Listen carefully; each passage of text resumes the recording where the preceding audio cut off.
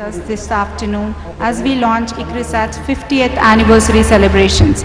May I now invite Dr. Jacqueline Hughes to welcome the dignitaries and the gathering. All guests using translator services, kindly note that translation in English is available in channel 1 and translation in Hindi is available in channel 2.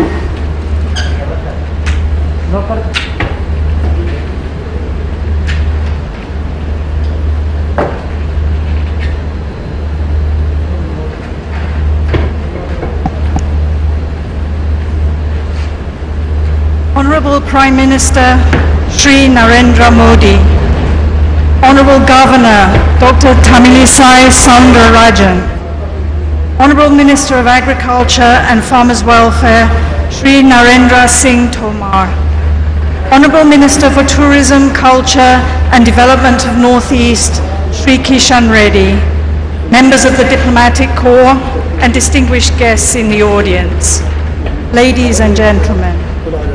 It is a great privilege for our Institute to be graced by the Honourable Prime Minister of India to launch ICRISAT's 50th anniversary celebration that will continue through the year leading into the United Nations International Year of Millets 2023.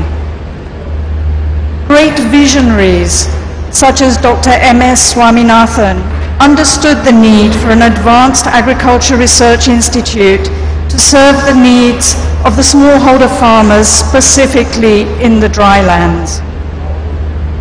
Thus, the constitution of ICRISAT, the International Crops Research Institute for the Semi-Arid Tropics, was signed on the 28th of March 1972. ICRISAT is the only international agricultural research institute headquartered in India. From humble beginnings, ICRISAT has made great strides in its journey of five decades.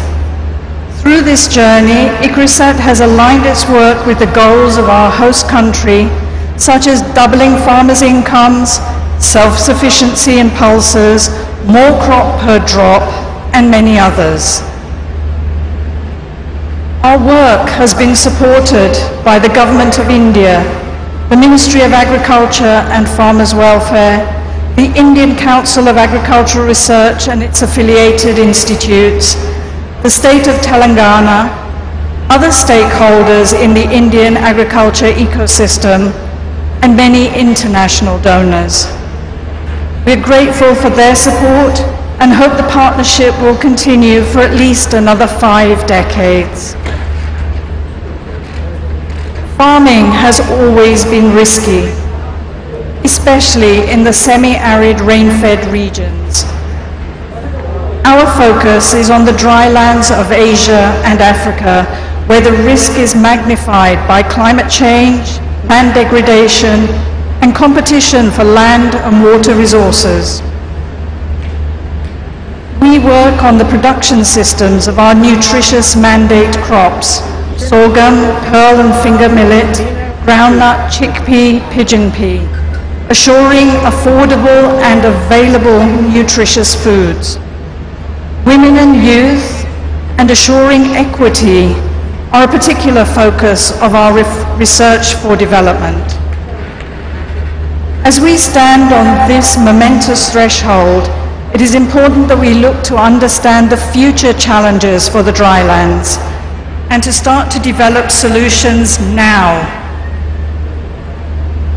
We will use cutting-edge technologies to bring varieties and hybrids to farmers faster and ensure better management of natural resources to help fight climate change and reverse environmental degradation. On its 50th anniversary, ICRISAT rededicates itself to making dryland agriculture resilient, sustainable, and profitable. Thank you.